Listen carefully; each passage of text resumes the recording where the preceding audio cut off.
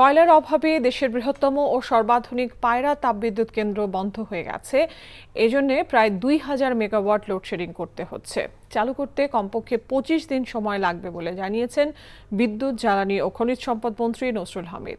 সাভারে daffodil international ইউনিভার্সিটিতে নবায়নযোগ্য শক্তি গবেষণা ল্যাবরেটরি এবং প্রশিক্ষণ কেন্দ্রের উদ্বোধনী অনুষ্ঠানে যোগ দিয়ে এমন কথা জানান মন্ত্রী।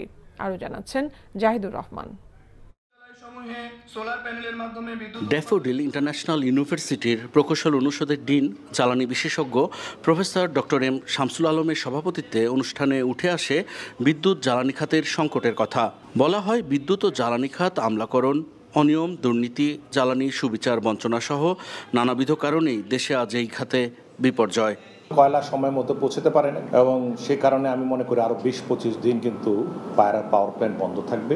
বিদ্যুৎ সংকট নিয়ে নিজের উদ্বেগের কথাও তুলে ধরেন মন্ত্রী। জানান বিরোধী দল এই সংকট নিয়ে ইস্যু করলেও করতে পারে কারণ দেশে গণতান্ত্রিক পরিবেশ বিরাজ করছে। রাজনীতি ইস্যু বিভিন্ন সাবজেক্ট নিয়ে উঠতেই পারে। এটা রাজনীতিবিদদের যারা বিরোধী দল বা বিরোধী যারা আছেন তারা উঠাতেই পারেন। এটা স্বাভাবিক ব্যাপার। বিদ্যুৎ নিয়ে করতে পারেন জ্বালানি নিয়ে করতে পারেন। এখন এটা তাদের উপর নির্ভর করে। তারা যদি ওই ইস্যু নিয়ে আন্দোলন করতে চায়, বাংলাদেশে তো মুক্ত স্বাধীনতা আছে। আমাদের দেশটাকে আমাদের মতো করে সলিউশন করতে হবে। এটা হলো বড় বিষয়।